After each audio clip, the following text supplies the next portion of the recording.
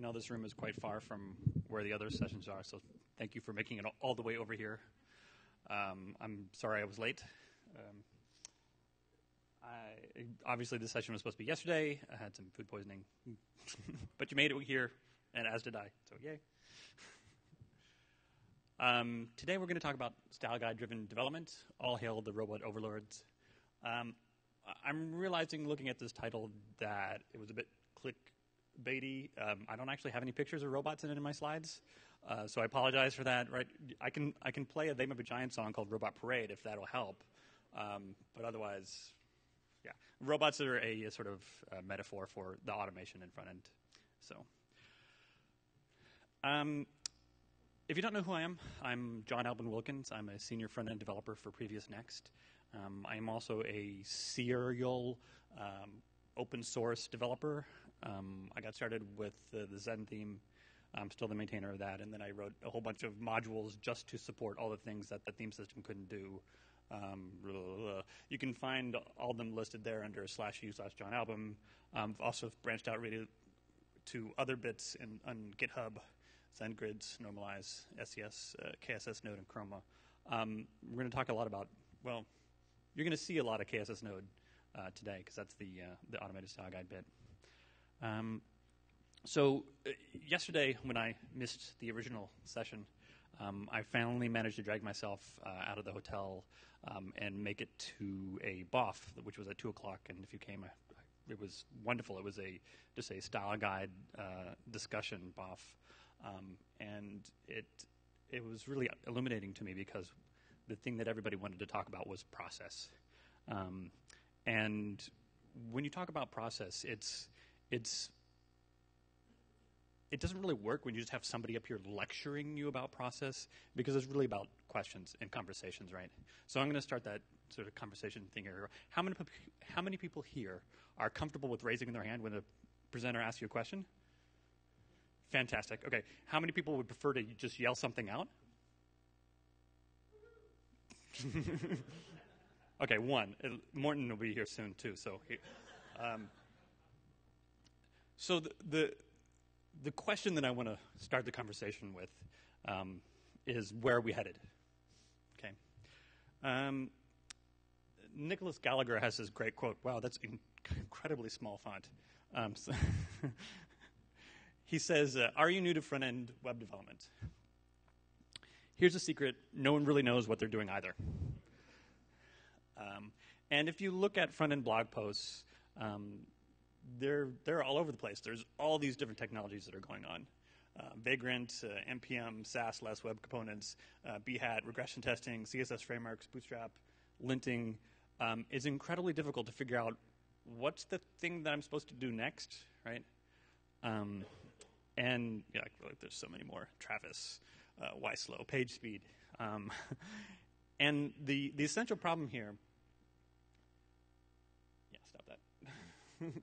okay, the essential problem here is, is what uh, Frank Chimero um, said last year, which is everybody is describing the one little piece they've created, um, but don't explain or even reference the larger concepts of how all of these elements link together, right? Um, and it's because you know we're we're at DrupalCon, so of course we're talking about Drupal. So we're talking about the technology. It's really easy to focus in on those little bits while you're at a technology conference and while you're talking about one particular thing on your blog post, right? So technology is sort of like focusing in on the the brushwork of a particular painting, right? It's wonderfully detailed, and you can learn a lot by looking at it at this detail. But of course, you have no idea what's going on until you step back and look at the entire picture, right? And process is that, you know, process is all about understanding the bigger picture, right? So when uh, previous DrupalCon people were asked, like, what's going on? I, we don't understand what's going on. And I thought about it, and, and, I've been doing this long enough. I've been doing web development since 1994, no, 93, um, that it's a little bit easier for me to figure some of this stuff out, or at least realize that I don't have to try to do everything that I see in a blog post this week. I can think about the big picture for a little bit and not worry about some of the technologies. So Uh, can people in the back hear me? I want to make sure that I'm at the right microphone. Okay, good. Um, when I tried to make sense of this, all of these different technologies, I realized that basically there were there's only really three categories. Um, there's front end performance, components, and continuous integration. So any of these front end projects can be described using you know one or more of these three broad categories. And and to, to re-say this without so much jargon um, is basically you're you're making shit faster, you're making shit modular, and you're automating the shit. Right. Those are the three things that you have to, to do. That, that's it. That describes any project. Um, and I don't know if you want to play a fun game where like people just yell out projects and then I tell you which three categories it is, but we could. There's a one person who was yelling out. You want to try? Oh well. Anyway, what was that? Node.js. So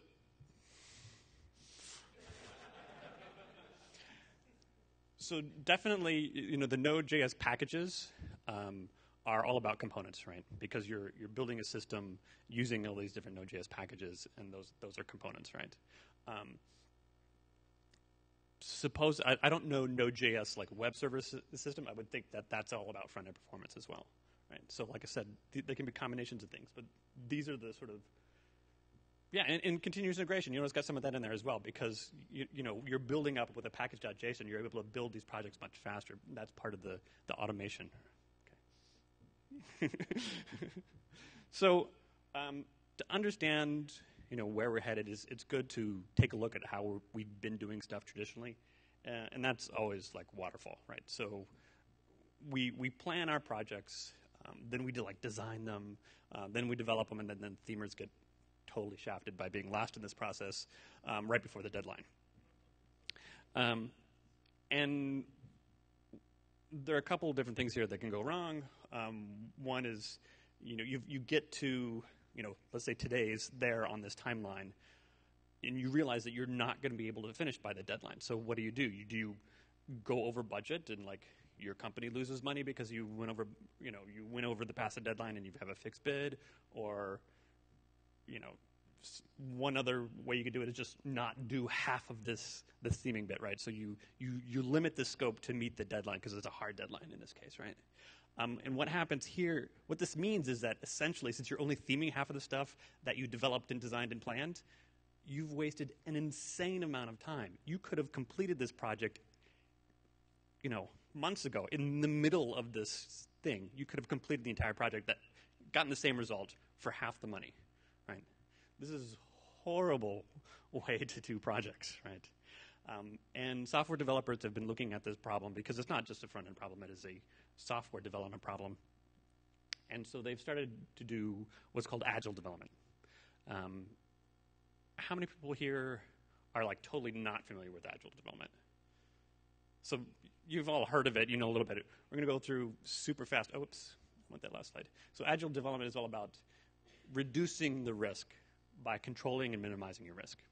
Okay, um, and, a typical agile project looks like this. This is um, this is yeah. I think this is the way most agile projects are. This is how you would do it in Scrum, which is what I'm trained in. Um, you still have the start and end deadline, um, but you break that timeline into a discrete set of sprints. So you have two weeks, and you just find that at the end of those two weeks, that's the end of sprint one. And then the next sprint is another two weeks, and you just divide up that time into these equal parts. And you organize your project by creating a backlog of features.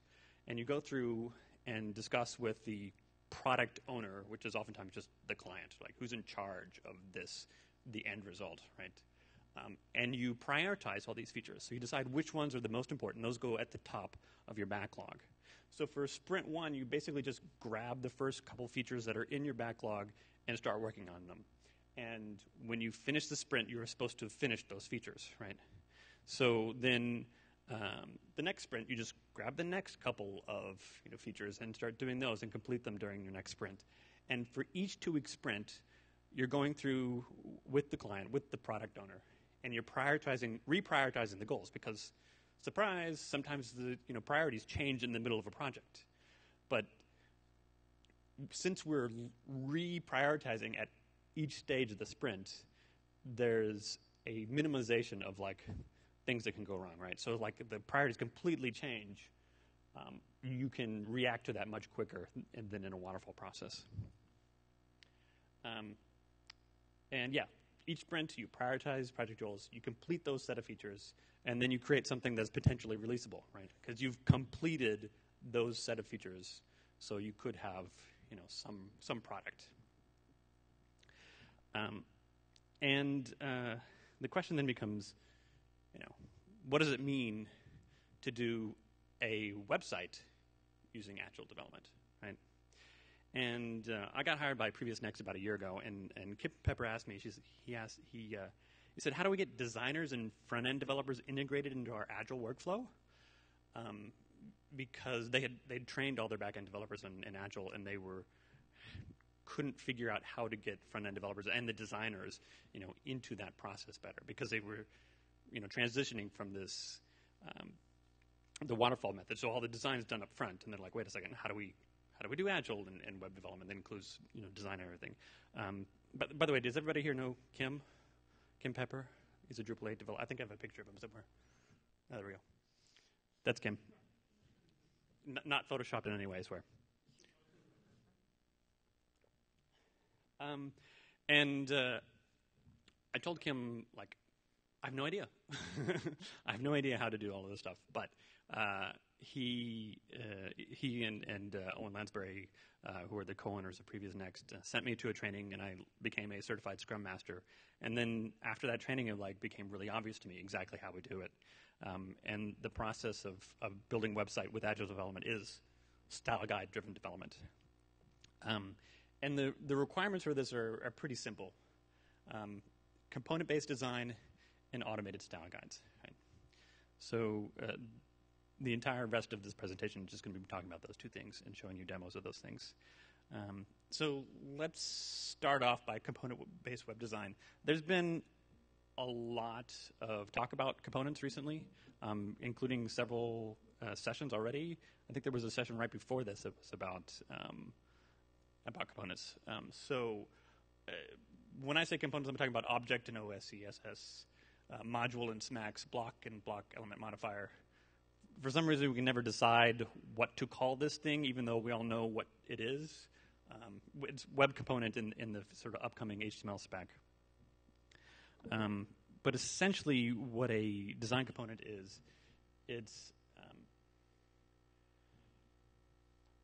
you're trying to find a, a single chunk of design that um, that you can reuse? So it's applied to a sort of loose, loose collection of HTML elements. It's completely repeatable, even if you never repeat it, right? So like the header of your website is going to be a component, even though you won't have multiple headers on, you know, the page, but it's still discrete repeatable chunk of CSS, right? Um, and it's specific um, in that the uh, we replace the CSS specificity, which gets us into so much hot water, um, and replace it with a, a, naming convention that's very specific. So you you have a you know a class name that is very specific, but it's very low specificity because it's just a single class name on your rule sets. Um, and uh, they're they're self-contained, right? If so, if you apply that class to something, it's those styles are not going to bleed over into other things. Um, and finally, they're they're nestable, right? So you can have um, a sort of mini component that fits nicely into a larger component. Layout is actually a, just a certain type of component um, where it just moves giant chunks of the page around, um, and then you obviously nest all of your other components inside the layout. Um, let's see here. Let's so here's a website that I did several years ago, um, and if you look at this, this is a good um, good design system that was made. So it's it was really easy to translate into components. Um, because you can see here that there's a there's a lot of repeating elements already. So we have this giant sort of teaser at the top here with name, um, and uh, there's a category next to the date and some teaser text, um, and another category at the very top left here. Um, and that's very similar to this other sort of medium-sized teaser, um, which also has this, this share count in red circle there. Um, so bits of this, I think the share count is actually a, a, mini component, right? So it's it's its own component, and then the larger teaser is a uh, has a certain styling of it, and because it shares a lot with this this medium size as well, um, you end up reusing some of those CSS in, inside other components. So I, in true Agile fashion, I've done iterations of this presentation multiple times. Um, I'm not sure if I need to go over this at all. Who, who here has not seen this slide before? So yeah, maybe about third, a half of you. I don't know. What do you What do you think? Should we go over this stuff again? Because I've done it at, you know, at it, I did it in Austin. I did it in Amsterdam as well. Um, I'll go over it super brief. That way, we get sort of good balance um, for the people who've never seen it, and then those people who have seen it a couple times already. Jeez, get on with it, John. Um, so, to me, basically everything is a component, right? So, every single piece of design is going to be a component. These base components, those are um, the design that you apply to an HTML element, right? So like block quote is an HTML element. Your selector for that rule set is block quote. Um, and uh, you are applying a sort of default design to that HTML element. Um, this is super useful for like the WYSIWYG area of your Drupal site because a lot of times you don't have as much control over you know, adding the right classes and the right markup in there. So if you style um, you, all of your sort of HTML elements with some default styling, it'll at least uh, look decent then inside the WYSIWYG area. Uh, layout component is another kind of component, um, which, like I said before, is just moving large sections of your page around, um, and then is a container for all of your other components. And then all the other components, the a component basically has five different parts. Um, the sort of wrapper component itself, like if it's a really simple component, it may just have the one thing, right? So it's it's just a component. It's a single HTML element. It has a single class that you apply to it. You're done. Like that's it's a really simple component. Um, actually, yeah, I want to go through. So. Yeah, I'll go through this fast. So uh, if it's a simple component, you just have a single selector, a single class dot flower, and applies that design, right? Um, and more complicated components will then oftentimes have elements um, where you are having to apply a class name to some of that you know HTML that's in this collect, loose collection of HTML, right? So these are the petals. So you would like add that class and make a rule set for that just to apply that particular chunk of design.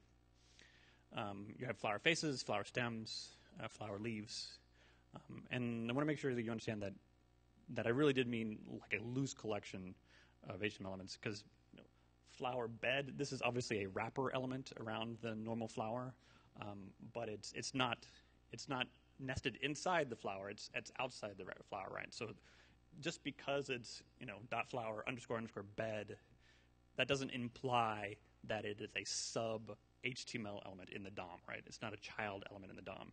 It's these all of these HTML elements are just sort of like next to each other on the DOM, not necessarily in any particular um, structure. Um, then we go on to uh, modifiers, which is basically a variation of it. So you have a um, flower dash dash tulip, and this applies almost exactly the same design, but slightly tweaked. We'll, we'll get these a lot of times in our designs where, um, you know, the like those teasers, right? So the the main teaser has a certain styling in it, and then like you've got a slightly vari you have a different teaser on a different page, and it's like ninety percent the same but slightly different. So you end up reusing all of that same CSS, um, and I usually put it in the exact same file. So like a component and its variation will go in the same file, um, and then you just add a extra rule that applies the tulip variation of the, of the CSS, right? Um, then after modifiers, we've got state, right? So this is the hover state of our flower component, right? Um, and there, there are various kinds of, of, of uh, states. This one is a, what is a pseudo element, pseudo, yeah, pseudo class, and uh, you also have like JavaScript applied classes. So uh, dot is pollinating. This would be you know some JavaScript event has happened and it's inserted this extra class into the markup, right? Um, and, and, then of course uh, media queries are states, right? So this is the this is the desktop version of the Flower component. Um, and, uh, and don't forget that print styles are also you know media queries. So this is this is the print version.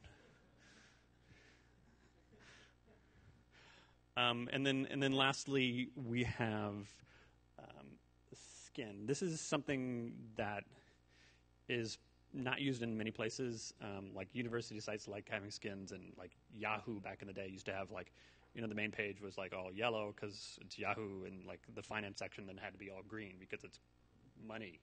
Um, so, but the, skin is basically.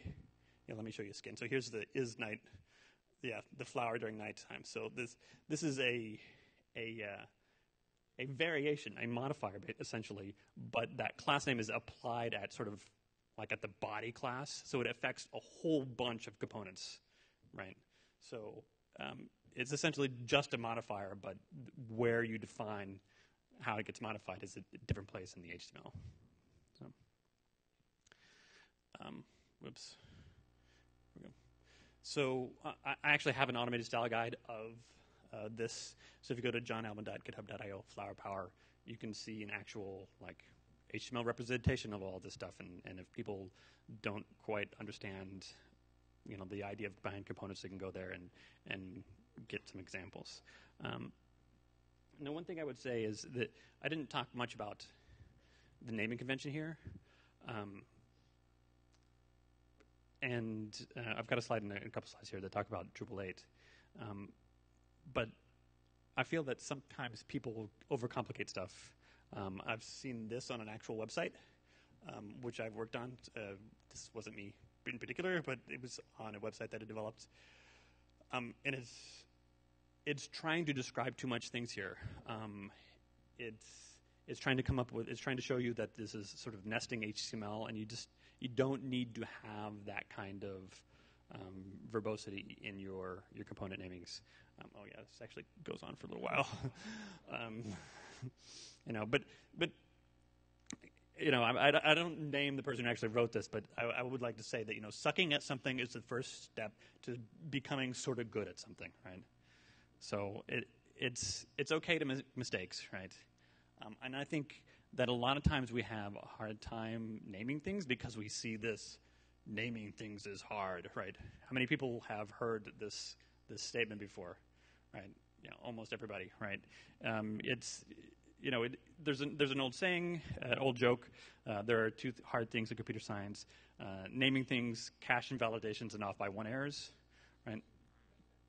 Uh, and you know, the setup to the joke is that they're obviously talking about a very serious thing, right? Because they mention naming things, and everybody knows that that's really hard, right? Um, and the thing is, is that this statement by itself is wrong, um, because naming things is hard if the names are user facing, right? And it's that if that's really important there, right? It, it's not true unless you have the if. So it's, it's if the names are user facing if, if, it, whoops, that's gone too far. Let me go back. Gotta love a good Comic Sans joke, yeah? um, and the, the idea behind this is, is, is that if you have like these words in your like user interface of Drupal, right, you have to make sure you get that stuff named properly. Like you know, the, the tweet button. You want to make sure that all those things that people can see are named well and make sense. But we're CSS developers, right? So, like, the only people who see our names are inspecting the HTML, right? um, and as long as you document all of your names, the the you know those those names are basically just for internal use of your team. So poor naming, giving it a bad name, has a very low cost, right? So as long as you document it, there's not it's not too bad because you have some documentation, the other developers read it, and then they understand what it is, even if it's a really bad name. Um, so I wanted to give people some advice about how to name things and not get stressed out about this, um, which is spend 30 seconds trying to come up with a name for your design component, right? Don't worry about it. Develop it, um, and then when you're done sort of developing, like, oh, now it works in IE8, yay! Um, then you can spend five minutes like thinking about it again. Okay, mm-hmm. right? Um, and maybe like add a little to-do comment there if you think it should be renamed to something else. Um, and then like commit it. Uh, oh, also if you're doing like peer reviews, you can have somebody else spend five minutes thinking about it, right? Um, and then commit it, right? Um, and after some time, you can refactor. I mean, it's okay um, because these are internal names for your team, for the people who are developing the website. Um, it's really low cost, so don't stress out. I've seen projects go really off the rails um, trying to come up with these things. Um, and the most important thing is naming conventions. So naming conventions is way more important than the actual names, right? Um, the Drupal 8 CSS coding standards uh, talk about the naming convention that we're using in Drupal 8, and that is essentially that that uh, the syntax that I was showing you earlier in that flower example is the same thing. So here, here it is again. Um, you can go to the Drupal 8 website and, and see you know, all of this stuff, but um, essentially the way that we're going to do it, and we are doing it in Drupal 8 is is uh, the name of the component. Um, if it's a multi-word thing that you can't figure out how to do it in one word, then you put a dash in between the different words. So that's the component. Uh, modifiers are, you know, you, you know when you look at the HTML element or the, the HTML source and you see a dash dash there that that means this is a variation of the normal component. Um, and then double underscore means that it's um, a you know a piece of the component. Um, sometimes you know a, a variant of your component will need special styling for a particular element, so that's the way that thing will look. then you have your different states: is state, hover. I mean, this is basically all the different kinds of variations you should ever see in your your CSS. Um, I have a very flat structure of how I keep my components organized um, because it's it's really easy to find stuff. Um, you inspect that if you're coming onto a project and you don't know what's going on, you inspect the DOM, uh, find the CSS class on the actual HTML element, and then go look for that, you know, a file with that that component folder. Now, how many people here uh, have difficulty adding classes into the markup? Right. So the rest of you don't use Drupal?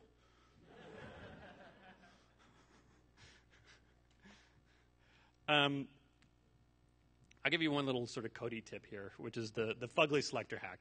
Um, I used to have a picture of Morten on this slide, but I took it off. I'm trying to be nice to him.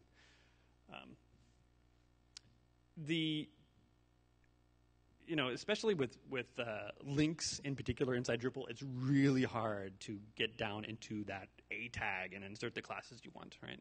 So this is a very typical one. So um, say this is a, a, a node teaser, right?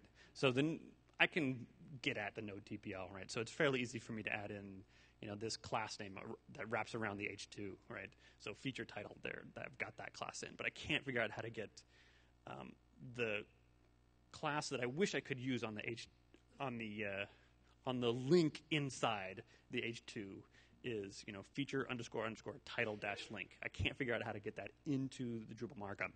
So instead, I write some Sass, right? And presumably, you can do this with less as well. Um, but I write the DOM that I wasn't able to change with Drupal, and then extend into the class name that I wish I could have used. So above this, I've got a rule um, that is using that says feature underscore underscore title link that has all the CSS, and then at the bottom of my files, I've got these like these ugly sort of fugly selectors that extend then into the beautiful bit. So this is super helpful because I find that if I'm if I'm looking at a really ugly selector while I'm writing my CSS properties, I forget about how a component is supposed to be structured, right? I accidentally write a rule set that will bleed into something else. If I write it this way with all of my nice rules at the top and then the ugly selectors at the bottom, it allows me to write very concise components that don't bleed into other things. Um, so that's components. You know, step one of uh, you know doing style guide driven development. We got started at 215, yeah? Okay. Good. So now we're going to talk about style guides. So halfway point. I first started using style guides on, in web development in 1996. um, and essentially, it was just a PDF document. But it, you know, it was it was nice. It, your style guide is a documentation for a design system, right? So you have this document and describes exactly how you should be applying new design to different parts of your website or to you know, your corporate branding, you know, the side of the, the truck, whatever. These are what documentation, what style guides are. And, you know, they're amazing. They're really, really nice. The problem is, is that out of date style guides are completely useless. They suck so hard. um, and the more that I would use style guides in web projects, I would, you know, get designers who'd be like, you know, they're frazzled because they have strong deadlines, and they're like, oh, here, here's a style guide. Um, so the changes that I discussed with the client for the last two weeks aren't in here. Um, so that this page and that page are out of date, and, and yeah, you'll figure it out, right? And then I'll, I'll, forget that later on the project, and I'll implement exactly what the style guide is, and then like they'll yell at me for not doing it the way that they said to do it, rather than the way that was documented to do it. Um, so I stopped using style guides, right? I was basically like, okay, you've got enough time to update the Photoshop file don't worry about a style guide because it's never right anyway. Um, but when I was looking at all the blog posts of front end development, like, oh, you know, this is going on, this is going on, I saw one thing that caught my eye was because I'd used style guides before and I knew how much they sucked. Automated style guides sounded really interesting to me.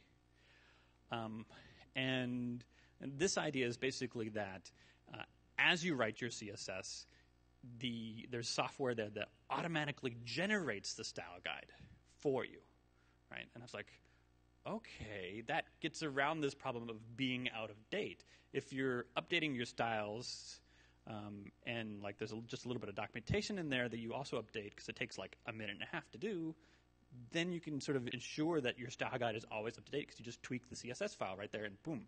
So one of the ones that I like, and there are a whole bunch of different style guide systems. But one of the ones that I really like for simplicity is KSS, uh, which stands for Knyle Style Sheets or something like that. I can't remember what it is.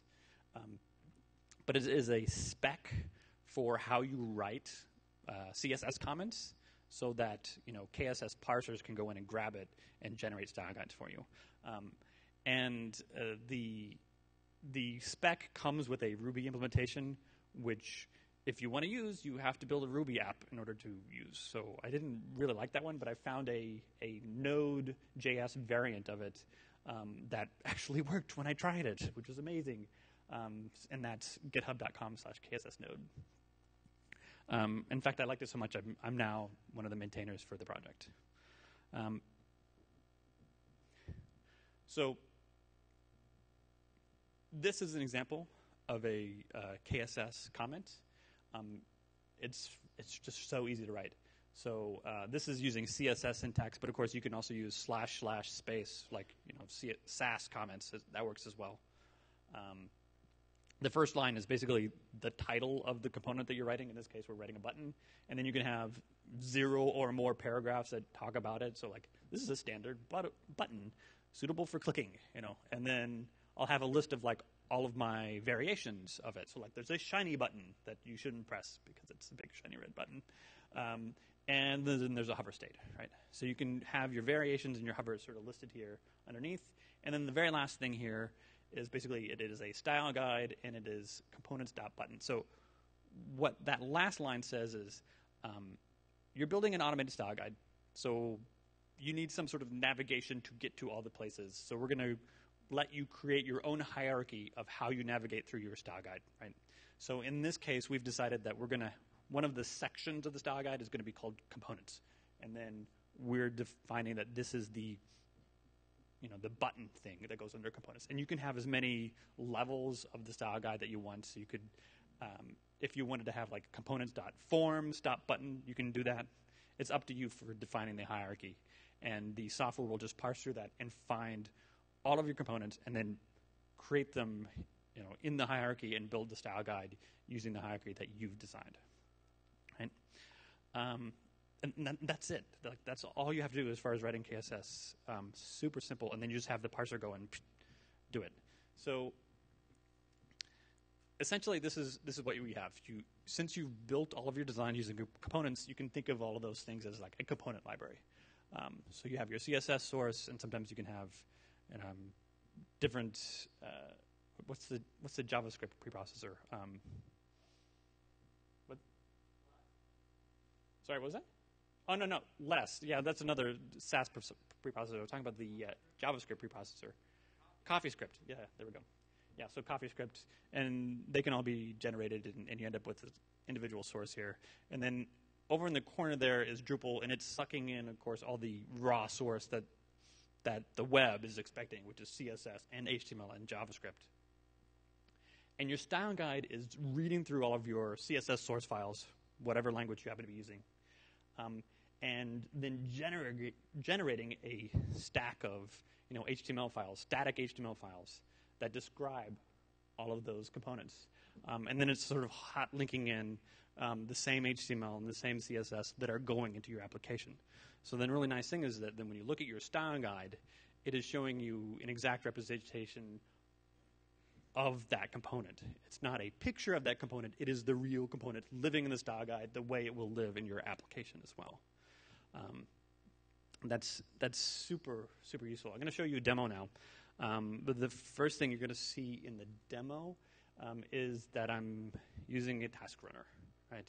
Um, and uh, a, a task runner is it's basically well these are all the different things you can do with a task runner um, it's a way to automate a whole bunch of different steps if you're only doing one of these things then you don't need a task runner right if you're only just building Sass or building CSS from Sass, then you don't need a task runner. But, right, so that's what I was doing. I never used you know Grunt or anything like that because we're just making Sass or just making CSS. And then as soon as I started using style guides in my system, I needed a way to build the style guide. So then I'm doing two things, and then I had to pick a task runner because then it allowed me instead of having to type two commands like do the Sass, oh now do the style guide. It was really repetitive. Now I just have a single command, which is like gulp watch, and it watches all my Sass files and goes, oh, let's generate some CSS. Oh, you changed the Sass file. I'll gener- regenerate the style guide. Right. So that's what a task runner is for. And um, w- right now, by default, in, in, in, our project, the PreviousNext, we're doing those first three things here. Um, we're building CSS. We're linting all of our CSS um, and all of our JavaScript. Um, and then we're building the style guide. Um, we have plans to also add visual regression testing to that, which was an excellent session on that earlier in the week. Um, and then, of course, you can do live reloading, which we're just we're having some issues trying to get it to work. if you know how to get that integrated with Gulp, by the way, come and see me afterwards. um, so all of these things you can do with a single command, right? So you run, run the command, it generates a Sass, can reload your browser after it loads all that stuff up. Um, let's do a live demo. Um,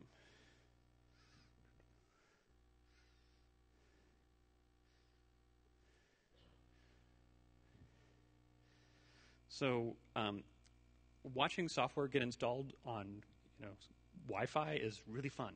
Uh, so I, have done it ahead of time, um, and then you can. I'll, I'll, just go over the commands that I did. So I, I git cloned um, the Zen theme, um, and then switched over to the 7.x 6.x branch.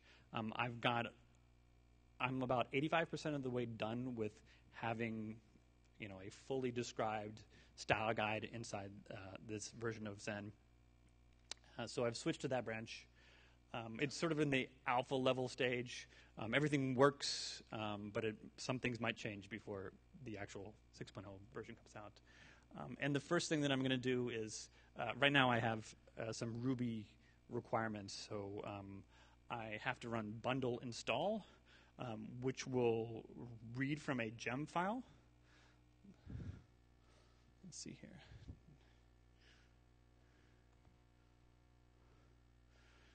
So um, it just reads like I'm using breakpoint in Sass to control media queries and stuff like that. So just reads through this real fast when I type bundle install and installs the minimum requirements for this project.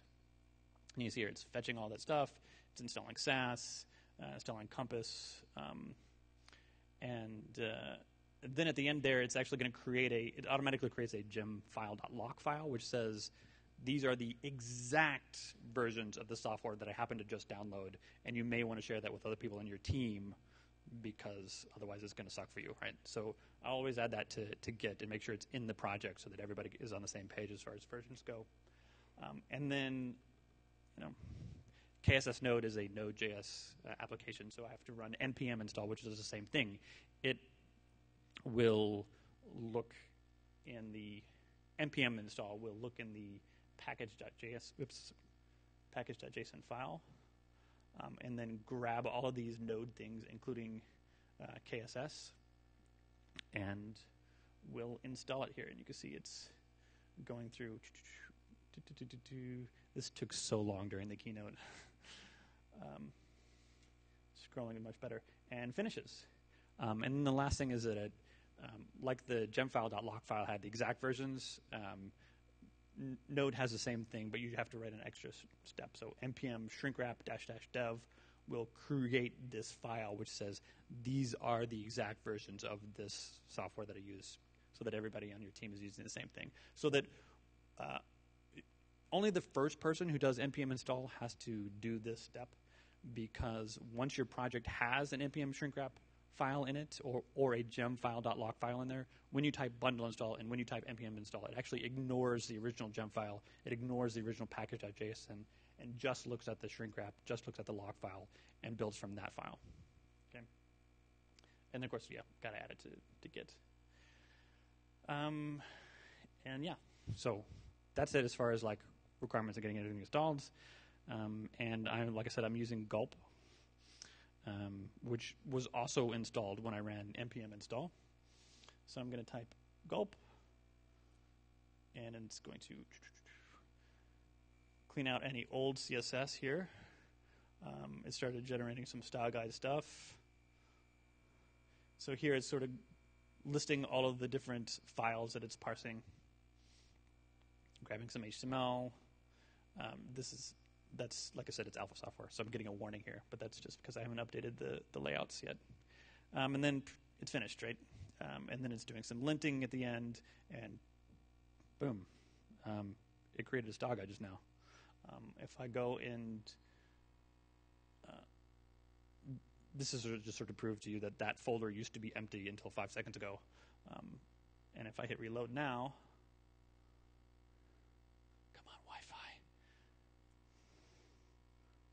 Yeah, there we go. So it just. Thank you. I'll be here all, all day. um, yeah, so this is a style guide, and this is the hierarchy that I you know specified inside my KSS comments here. So I've decided that the first section of it is going to be color Sass, and then like my base HTML elements, my layouts, and then my components. Um, I, I, have a feeling I'm going to be playing around with how I organize my components in my style guide because um, well, here's here's a, a project that it, that I'm actually developing right now with PreviousNext, um, with with a great team. Um, but if if I pop into the components, there's like 43 different things here, and it gets a little bit long, so I need to play around with reorganizing it. Um, but uh, if we look at this, you're going to see um, all of the sort of boilerplate components that Zen includes. Um, and to make this easier, because obviously you can't see this, it's on my local system. Um, I have actually taken the uh, the Zen style guide and then posted it to GitHub, um, which is where no, this one. No, it's not. Oh, I know where it is. Oh, I didn't load this ahead of time. GitHub.com slash John Albin Zen style guide then click on this link. There we go. Okay, yay, Wi Fi. um, so uh, this is the you know publicly accessible version of of what you get out of the box. Um, it has a boilerplate list of a bunch of different components that you probably will use, and anything that you don't use, you can literally just like delete an entire folder. Like I don't need that component, and then you just run gulp again, and your style guide is now up to date again. Um, so this shows all the like colors that are in Drupal um, by default. Um, I'm kind of feeling like there's a little bit too many colors here. I'm to want to simplify this a little bit before I do a, you know a, a 6.0 release. Um, but you can see here that it's, it's documented all these different colors, um, which is really nice. Um, and then I actually have um, a way to describe the color is using functional names rather than just color names. Instead of you know, let's make this border red. Let's make this thing the border color, right? So um, if we go up here, one of these gray ones is going to be yeah. So whoops. This gray medium light color, which is actually you know pound CCC, is uh, inherited by the border color. So anytime that I use border as the name of my color, is going to inherit it from here. Um, and there's actually a way um, with this system, which is called Chroma, um, to have different color schemes. So if you are Yahoo or you know a university and you need like the exact same designs but different colors on different sites, um, you can create a new uh, color scheme where essentially you would just have like somewhere in here you would need to f- specify like a primary or secondary color, something like the big colors, right? Um, and then you could create a new scheme and you just define the new primary and secondary colors, and everything gets inherited properly. Uh, so that if you're down at the level of oh I've got my autocomplete select background is inheriting from the primary color I don't need to redefine this color in the new scheme I'm just redefining the primary color and it all inherits nicely um, we needed this for a project recently so that's in a nutshell, that's what Chroma does, and it's included with with Zen. Um, but this style guide then, yeah. So we look at our base, and this is a listing of all the HTML elements and their stylings, headings. Um, it, it's it's really nice to just be able to see how all of these different bits of here um, will actually look on your site, and you can see this, you know, the generic link styling, right? Obviously, you want to go in and, and add your actual link styling, and then run gulp again, and you'll get an up to date version. Um, let's do that now. Actually, let's go into components and let's tweak this this box component. Um, so I'm going to open up. I've got a box.scss file. Uh, here I'm using here I'm using the uh, Sass syntax for the comments um, super simple box styling for LA. Um, I'm pointing at where I'm keeping my markup. Right now, um, my markup is being kept inside uh, a handlebars file, which is .hbs, but you can also just use pl- vanilla HTML. Um, there is a feature that's getting in that is almost ready to go in KSS Node, which allows you to use Twig uh, for your styles, uh, for your HTML elements. Um, that's going to be really nice. The nice thing about handlebars right now is that it's, it's really close to the Twig syntax. It's going to be in Drupal 8. Um, so I'm going to go back now and see. There. So that's pointing at where your your markup is. You know, how are you applying these styles to it? Um, and let's change it so that. Um, we're going to use, I don't know, something ridiculous like 10 pixels and more padding, right? So I'll just, uh, actually, wait, before I hit save, I should really run gulp watch. Um, when I first run gulp watch, it's going to assume that you've made some changes before you started it, so it's going to regenerate everything real fast. Um, and yeah, it's done. So if I go here, and because I haven't hit save yet, so if I reload, it should still look the same. Yeah, so it looks the same. And now I got to go back into my editor, hit save, and then I have to real quick go back to my command line. Come on. Was it fast enough? Or did I not hit save? Okay. This might be the live demo error. Mm-hmm. Thank you for debugging my problem. um, do, do, do, so I'm just going to close that tab so I don't do that again. um, go back to components.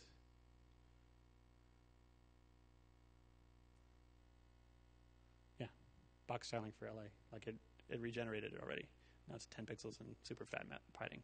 So it, if you are, you know, editing the CSS and you just don't go up here and also edit the comments, I mean, you're just being dumb because this incredibly simple. Um, and you end up with a, a style guide that is always up to date. Um, live demo, right? So let's go back to the last couple slides here before I take questions, um, because I haven't really talked about um, the process, right? So we've started doing this as a PreviousNext, and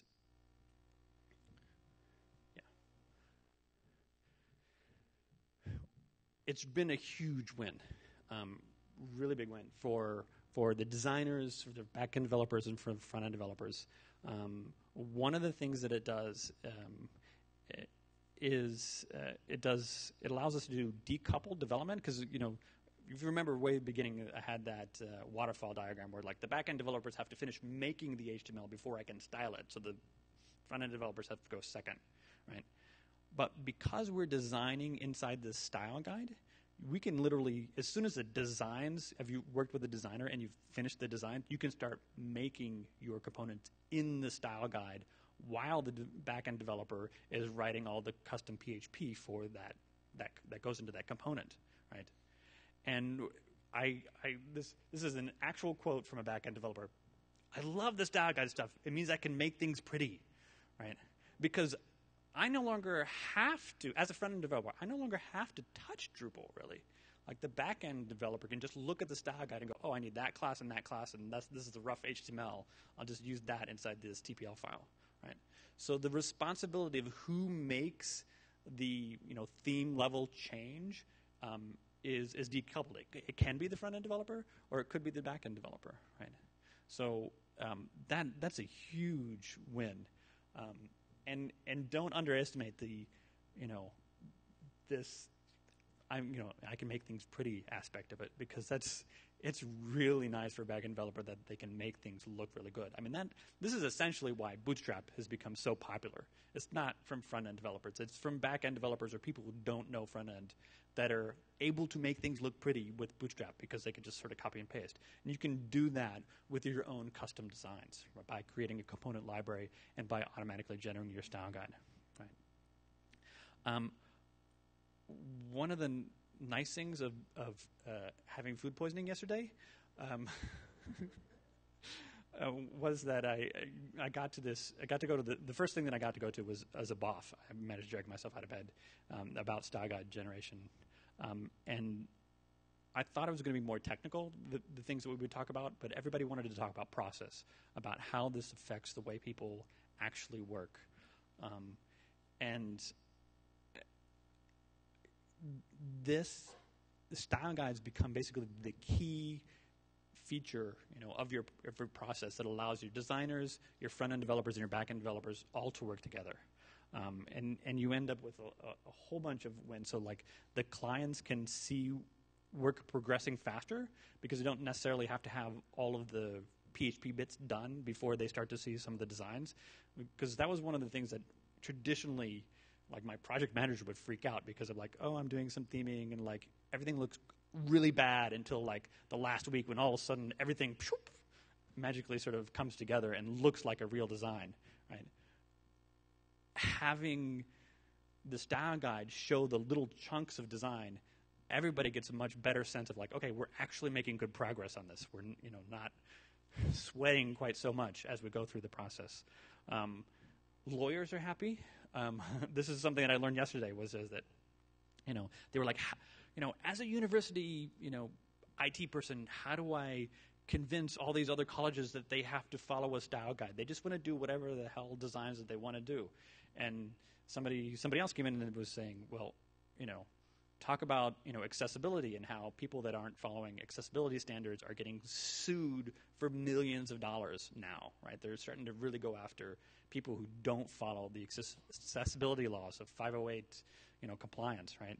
Um, so having a style guide that meets those accessibility requirements means that you know the lawyers are happy. They're like look we've built this thing that will ensure that there's accessibility in your site. So therefore you know you over there in the arts, you know, history, you have to follow the style guide, right? Um, it's it's really really interesting, and I keep learning more about about wins of how you include uh, style guides um, and how it's affecting people's processes. And um, I, I, would just love to like have a learn more about how how style guides are affecting different people, and I hope I've been able to convince you um, what a game changer this has been for for for myself and for other people who have started using this in their process. So. Uh, thank you, and, and, and let's start having some questions here. Put the mic here.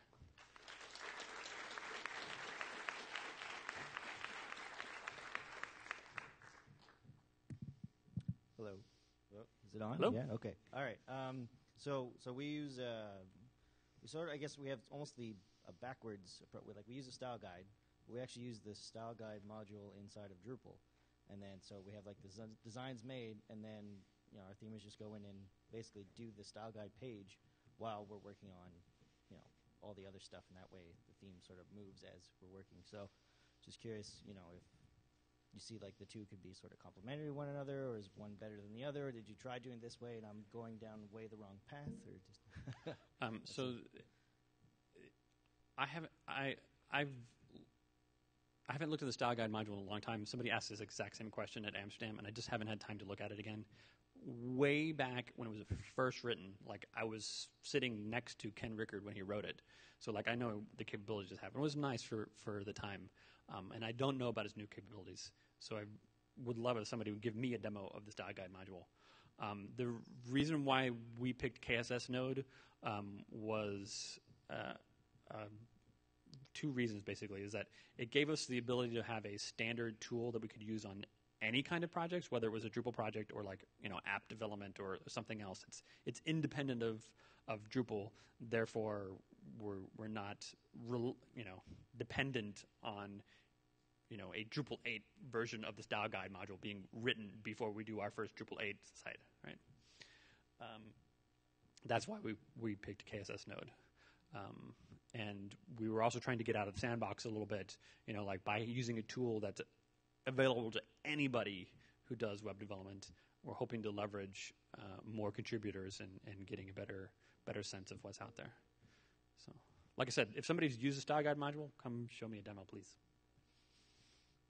Um, so my question uh, is, um, you know, Drupal outputs a lot of crazy things like views and exposed filters, and there's a lot of there, oh, sorry. There's, there's, a lot of markup uh, and stuff to that, and I was wondering how you would want to handle things like that within the scout, uh, style guide uh, mod, model that you sort of have here. Right. So um, when we when we do it in the style guide, um, the the markup that we write, of course, is right now it's it's in a handlebars file, um, and uh, we try to do like an idealized markup. Um, so like, if we could get Drupal to do it, we wish it looked like this, right? Um, now I know that sometimes when we go to the actual implementation in Drupal, we can't quite get it the exact same way. But if if we've written the CSS itself, you know, good enough, a lot of times we can just sort of ignore you know six or seven layers of divs there and just apply like the, the class name on like the outermost div and then like on a couple of the inner divs right and you still get the same design even though um, oftentimes what will happen is there'll be some random middle div there that's getting css from the date module and then we have to like override it but uh, it, that's you know, if you have a really good backend developer, they can change the markup to do whatever the heck they want, right? um, but sometimes we'll we'll know ahead of time that the markup that Drupal is going to give you, like for the menus, it's got to be a nested list of unordered lists, right? So we know ahead of time that it's going to be that. So um, when I was creating the boilerplate HTML for Zen, uh, sometimes I would go in and, and, do an HTML spec on a particular piece of Drupal code, and then copy and paste that chunk of HTML into my into my file and my style guide, um, and then start like cutting stuff out, but still having the sort of skeleton of what's needed. That the skeleton of what Drupal is actually going to give you. Right? Thank you. You mentioned the previous session, um, which was about uh, Pattern Lab. And my question is to understand how you see the process of how potentially what you're describing and what Pattern Lab does, at least to my understanding, how those things work together. it seems to me from a first glance of seeing these things that Pattern Lab generates a style guide that we then use to define our theme. And this appears to be defining the theme that generates the style guide. So, if my understanding is incorrect, I'd like to be challenged, definitely. And but my my question is, how, how does the process work for those two? Right. So, um, if and maybe I can go back to that one slide. We had a very similar question in Amsterdam. Um, yeah, this one. Right. And the places where I've drawn these boxes, like this is the component library, and this is the style guide over here, and this is the application, those are kind of arbitrary. Um, the thing that I wanted to say was that these resources are being shared among all these different parts, and whether you think of the component library as being inside the theme and therefore part of Drupal, part of the app, and the style guide is separate, or like, for example, this style guide with Zen, of course, is inside the theme too, so maybe it's part of the theme and it's part of the component library. Those are kind of arbitrary definitions of where the things are. Um, really quick, Pattern Lab, for those of you who don't know it, is is essentially it's an alternate uh, style guide generation tool that's you know it's PHP based um, and it does a very similar thing to KSS Node. Um, and I didn't get far enough. We, it was one of the, it was like KSS Node and Pattern Lab were the two things that we were evaluating, or they were the last two things we were evaluating. Like it's going to be one of these two, and we ended up with KSS Node. Um, so I didn't get into the details of like how you specify a component in Pattern Lab. But the the only reason why we didn't choose Pattern Lab um, was because it out of the box it's very tied to um, the elements, atoms, um, organisms way of describing web systems that Brad Frost came up with, um, and we weren't using that approach. So it was the the nice thing. I mean, like you could you could still create a hierarchy um, that was like that in KSS Node, but it, it does not care about what your hierarchy is. Like you define it, so it's it's super flexible. So we could ad- still adopt like Brad Frost all that stuff and put it into KSS Node. That'd be easy. Um, Understanding that you picked one, that helps me a lot. Thank you. Yeah. Uh, yeah, I was just kind of curious how this ties into client deliverables. Like, are you delivering the style guides, or you know, are you delivering some, you know, homepage PSD, program page PSD, and then building the components out from there? Um, so the I'm going to answer the PSD question part of it first. Um, I've worked with two different kinds of designers at PreviousNext. Um, one of whom is not that uh, is still developing their CSS skills. Right, so they're more comfortable doing the designs initially in Photoshop. Right, which is totally fine. So like you just you just make sure that they are understanding that they need to think of this component methodology so that they're building discrete design chunks inside their Photoshop file, right? Um, and then you can have a conversation with them about, okay, how do I extract those out into design, you know, and how do the different components work together, right? Um, and uh, the the other kind of designer that I've worked with is like they also know CSS, so uh, they um, it's whatever process is, is more comfortable f- for the designer, right? Um, and you just as a front end developer, you have to work with them so that um, th- th- this other designer he did he actually ended up learning how to like write KSS comments because it's actually really easy. So then like he makes some of the of the components himself, right? Um, and then like I'll do a peer review just to make sure that he's got all like the front end performance bits, you know, all the dots uh, above the eyes and cross T's and this sort of stuff.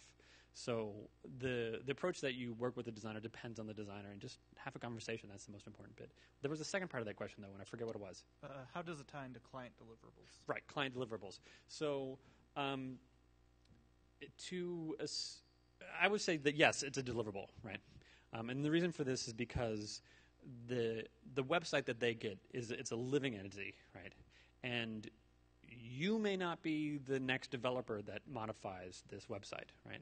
So if you've got a style guide in place, you're you're lowering the cost of further development for the client. So making sure that they understand that there's a style guide here um, that you know future developers can come in and learn how to apply the same designs to new features later.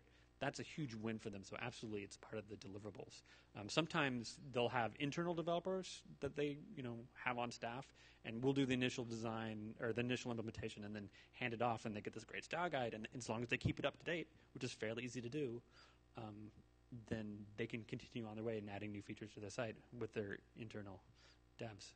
Um, kind of building off of that. Uh, basically, have you been found that having this helps reduce the number of deliverables? Like currently, you know, we'll do five or six page designs, and you know, our designers sometimes have problems actually figuring out the components they can reuse. I'm trying to kind of help figure out a way to reduce the number of designs so we don't have these Mhm. slight variations and Mhm. issues like that. Yeah. Well, um, yeah. Oh, yeah. One of the things that one of the other sort of process wins is with designers. If you've got a designer who's who's not on the project full time, like they've just done some designs and then they've finished up what they think is all of the design, and they go off and they're doing some other project, and then they come back like three weeks later because there's one thing that you forgot to design. They come back like sometimes they can be so frazzled that they forgot what they've designed before. And like, oh, I've got a new feature. I have it after half an hour to do it before I have to go on this other project. And then they'll just like they'll just whip up a new design that looks completely different from what's on the other site. So having a style guide, like showing them what's already been built, like they can go and look through their designs on this style guide and they're like, oh well, it just needs that, and then it becomes a five minute task for them instead of a half an hour task. Like there's a huge win for for that. The style guide becomes a great place for everybody to know what's going on and familiarize yourself with. Uh, uh, with the project. The very first time I used KSS Node uh, was actually on a project that um, I was brought in late in the project just to help with the development in front end. It was a big, like, four or five different front end developers working on this project. Huge code base, and they were like, ah, you, you know, just jump into tickets and you'll familiarize familiarize yourself with the code base as you go. Three months later, I still had no idea where anything was because it was just huge and confusing to me. And so I started implementing a style guide for that site as a defense mechanism so that I could figure out what was going on. Right. Thank you. So. We'll do, we'll do these these last two people in the line here because it's it's it's over here as far as uh, time wise goes. There's nobody else coming in here, but we'll, we'll finish up these questions. Feel free to leave if you need to go to another session. Otherwise, are there any more sessions? The plenaries last. Okay. So the KSS node is good for like visualizing classes. Um, is there anything, or does it handle like visualizing mix-ins? Is there anything automated for? Right. So um, I don't know that- if you look at this the syntax here, it's there's nothing really that's tying this comment to the dot button class, except that it happens to be in the same file. Like KSS Node, like you could write a completely different CSS selector and you have no idea, right? the the way that this gets matched up in the style guide is that y- you've written this CSS selector, and then presumably in whoops, oh well, I don't have a markup in there. In the uh, if I had pointed at an HTML file in in this comment, it would be the HTML file is the one that has the class in it. That's so they just get matched up in the normal way HTML and CSS get matched up. Matched up. That means that you can actually describe anything you want with a KSS comment. Really, it doesn't have to be about CSS. So um, if you uh, actually, if you write a comment like this without a link to some separate markup, it's going to assume that it's a Sass preprocessor. Um, and if I go over to the demo, where's my key? Oh, there it is. I guess what I'm wondering is, let's say you have a mix-in that's like, I don't know, called big ass text or something like that. Like how is there a way to visualize without that being applied to a class specifically in the code base? Um, I know, I know what you're saying. Um, mm, haven't got that far in, in my exploration with, with style guides, but essentially, I've got a, a section here that talks about mixins. So I've got like, I've documented my ClearFix mixin, which is just like inside my Sass folder here, um, so that I know, oh, I can use this clear this ClearFix mixin, and I've got a RTL mixin that will apply right to left styles if I need it. Um, so uh, visually hidden mixin. Um, so you can describe all your your mixins just using KSS comments and just putting it inside the hierarchy however you want. That's as far as I've gotten. I, it's actually a really good idea. Um, I, I do have an actual component though that is dot visually hidden, so that one gets described in the in the the uh, style guide. If you click on down into components, then you would see how it gets applied. Probably but it's it's a little bit one. separate. Maybe I could add a link that says if you want to know what this mixin looks like, go look at this other mixin or this other Okay. component. Maybe. Yeah, that makes sense. Yeah. Thanks. Last question. Um, so you, you talked about you have a um, a bullet there for layouts uh, as a component as well. I, I think this is broken right now. Did- I mean, like this is the last. Anyway, go ahead. Okay, so I, I'm just wondering if you could talk about like the intention or how that would uh, look within the, the the frame of the, the, the KSS. That is an excellent question because you're like, well, wait a second, it's a media query. So, um, so if I jump over to the ACC one, I, uh, the way that the style guide looks is you can change it the way you want it to. This is the default way that the style guide looks. Um, the the markup in the style guide is written in such a way that the styles that apply, to, you know, like this gray sidebar, are completely separate and won't bleed across into your own custom components. They all all those like all the classes are like KSS dot whatever or KSS dash whatever. So they're not going to go into your components. Um, but you're right. Like this, this is a layout here, um, and the breakpoints are all wrong because the layout normally is going to be full width of the um, of this window, and instead it's just this little section of the style guide. Um, that's one of the open issues in in this, and is that I want to figure out how to get it so that the media query applies properly to to that thing. It's not going to be too hard. to just like I haven't got to it. I've been too many other features implementing. So, um, yeah. Thank you. Thank you very much.